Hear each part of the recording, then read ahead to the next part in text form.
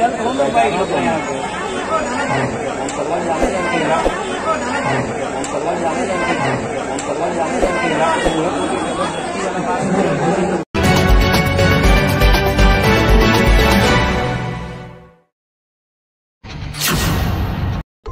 नमस्कार, आप देख रहे हैं न्यूज़ सिनेमा बॉलीवुड और मैं हूँ आपके साथ साकिब जकरिया। नाना पाटेकर ने पहले मासूम के गाल पर जड़ा करारा थप्पड़, अब वीडियो रिलीज़ कर फ़ैन से माफ़ी मांगते फिर रहे हैं। दरअसल ये वीडियो अब नाना पाटेकर के लिए मुसीबत खड़ी कर रहा है, और चारों ओर नाना पाटेकर की हो रही है घोर आलोचना। अब प्रेस कॉन्फ्रेंस बुलाकर नाना पाटेकर सफ़ाई देते फिर रहे हैं।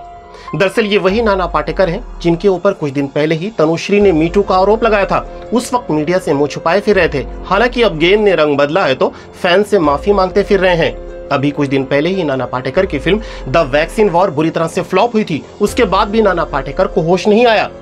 नाना पाटेकर जी, एक बार कान खोलकर सुन लीजिए। अगर फैंस ने आपकी फ़िल्म को नकार दिया तो फिर दर दर की फ़ैन से माफ़ी मांगते फिरेंगे। नाना पाटेकर इन दिनों गदर टू के डायरेक्टर अनिल शर्मा के डायरेक्शन में बन रही फ़िल्म की शूटिंग के लिए बनारस में है और बनारस के घाट पर नाना पाटेकर ने दिया है थप्पड़ कांड को जन्म हम सलमान जाने जानते हैं हम सलमान जाने जानते हैं ना तो वो कोई ज़बरदस्ती वाला काम नहीं है। अब ये गलती से हो गया, हमको मालूम है, वो कहाँ से आया। अगर गलत फहमी कोई है तो माफ़ करो। फ़िलहाल के लिए बस इतना ही। मुझे साकिब जकरिया को दीजिए इजाज़त और रखिए अपना ख्याल। बी अलर्ट बी केयरफुल है भी बहुत कुछ और। आप देखते रहिए न्यूजवुड की ओर।